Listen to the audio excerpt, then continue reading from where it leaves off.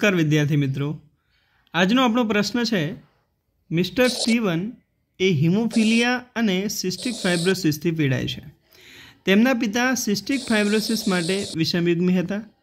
સ્ટીવનના શુક્રકોષોમાં પ્રચ્છન્ન x સંલગ્નતા તથા દૈહિક રંગસૂત્રીય અલીલ હોવાની સંભાવના કેટલી છે? તો જોઈએ આપણે. હવે હિમોફિલિયા માટેનું જનીન આપણને ખબર છે એક્સ રંગસૂત્ર ઉપર આવેલું હોય છે. જ્યારે સિસ્ટિક ફાઇબ્રોસિસ જે છે, એ દૈહિક રંગસૂત્ર પ્રચ્છન્નજનની ખામી છે. બરાબર? આપણને પ્રશ્ન પૂછ્યો છે શુક્રકોષની અંદર પ્રચ્છન્ન એક સંલગ્ન તથા દૈહિક રંગસૂત્રી અલીલ હોવાની સંભાવના. હવે મિસ્ટર સ્ટીવનના જે જનનકોષની વાત કરીએ, જનનકોષ કે જેમાંથી શુક્રકોષ બનવાનો છે બરાબર. એ જનન કોષની અંદર તો આપણને ખબર છે, દૈહિક રંગસૂત્ર પણ હશે અને લિંગી રંગસૂત્ર પણ હશે. દૈહિક રંગસૂત્રને આપણે કેપિટલ એથી દર્શાવીએ છીએ. જ્યારે લિંગી રંગસૂત્ર માટે આપણે શું દર્શાવીશું? એક્સ વાય બરાબર છે? હવે તમે જુઓ કે મિસ્ટર સ્ટીવન હિમોફિલિયાથી પીડાય છે. હિમોફિલિયાથી પીડાય એનો મતલબ કે હિમોફિલિયા માટેનું જે પ્રચ્છન્ન જનીન છે, એ એક્સ રંગસૂત્ર ઉપર હાજર જોવા મળશે. બરાબર. જ્યારે સિસ્ટિક ફાઇબ્રોસિસથી પીડાય છે. સિસ્ટિક ફાઇબ્રોસિસ એ પ્રચ્છન્ન દૈહિક રંગસૂત્રની ખામી છે એટલે એના માટેનું જનીન ક્યાં હશે? દૈહિક રંગસૂત્ર ઉપર જોવા મળશે આવી રીતે. બરાબર છે? હવે આ જનનકોષમાંથી પછી શું બનવાનું છે? શુક્રકોષ બનવાના છે.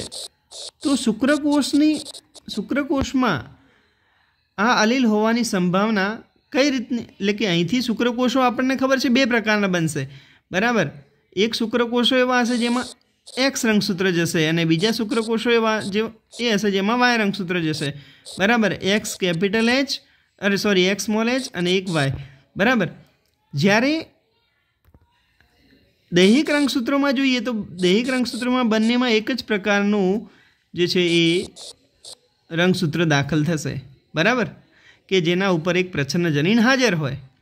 તો આપણે જોઈ શકીએ કે અહીંયા શુક્રકોષો જે છે એ બે પ્રકારના બને છે. એક શુક્રકોષો એવા કે જેની અંદર એક સંલગ્ન પ્રચ્છન્ન જનીન જોવા મળે છે અને બીજું જે છે એ દૈહિક રંગસૂત્ર જનીન ધરાવે છે. બરાબર? એટલે કે પ્રચ્છન્ન એક સંલગ્નતા અને દૈહિક રંગસૂત્રીય અલીલ ધરાવતું હોય એવું એક મળે છે. જ્યારે બીજું જે છે વાય રંગસૂત્ર અને દૈહિક રંગસૂત્રીય અલીલ ધરાવતું મળે છે.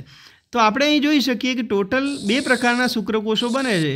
આ બેમાંથી જે છે, એક એવું છે કે જે આપણે પ્રચ્છન્ન એક સંલગ્ન પણ છે અને દૈહિક રંગસૂત્રીય અલીલ પણ ધરાવે છે. માટે આપણો જવાબ આવશે વન બાય ટુ, એટલે કે પચાસ ટકા.